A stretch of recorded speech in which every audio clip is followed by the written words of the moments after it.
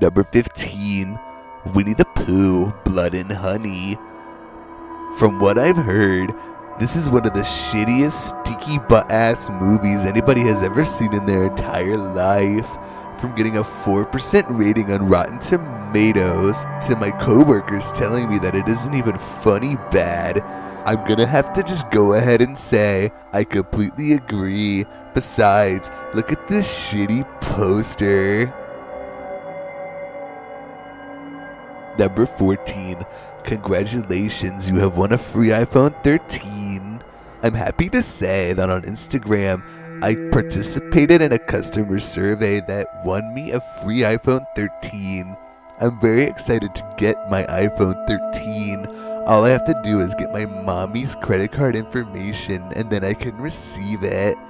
It's a little strange that they asked for that, considering that it was a free iPhone. Number 13, microphone haircut. I don't know what's with this guy, but his hair looks literally like a fucking microphone.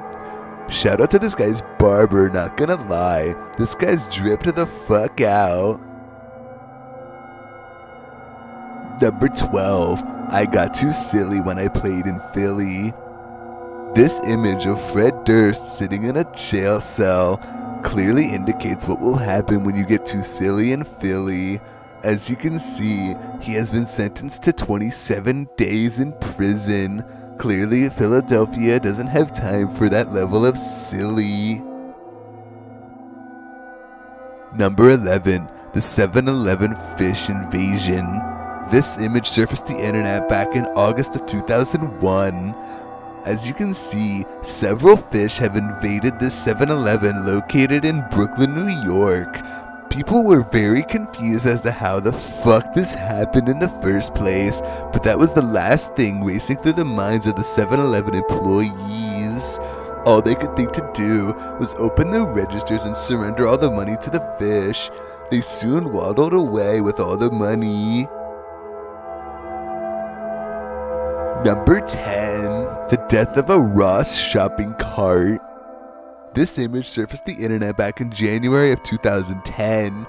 As you can see, a Ross shopping cart has suffered a very gruesome fate and was left to die in the snow. Number 9. As I record this, I just farted and it smells really bad. This is a picture of my chair that I'm currently sitting in as I record this. This chair just suffered a nasty, stinky fart from my ass. As you can see, it's a pretty good chair. I really ripped that nasty, stinky stink. Number 8 Deranged Locker Guy. This photo surfaced the internet back in January of 2020. As you can see, a man is inside of a locker and getting ready to attack the person who's taking the picture. Not much is known about this picture's origin, but I think it's safe to say the guy who took the picture is dead and buried somewhere far away. Number 7 EDP 445 goes to war. As you can see in this image, EDP 445 is in combat with his fellow soldiers. He is clearly fighting for the rights for free cupcakes and fucking kids. I hope he comes back with the pride and honor he deserves. Number 6 Hungry Black Man. This image appeared on Reddit back in September of 2019. As you can see, the man is eating a large burger and he is very hungry. Number 5 Election Day 2024 Predictions. This image appeared on Twitter back in March of 2023. As you can see, an AI image generator predicted the future for Election Day 2024. It sure looks like massacre will be inevitable.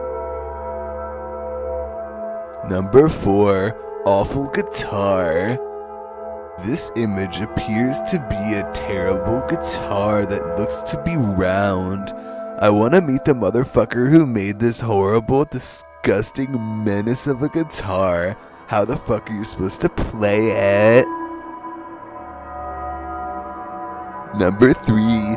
Ronald McDildo Nose.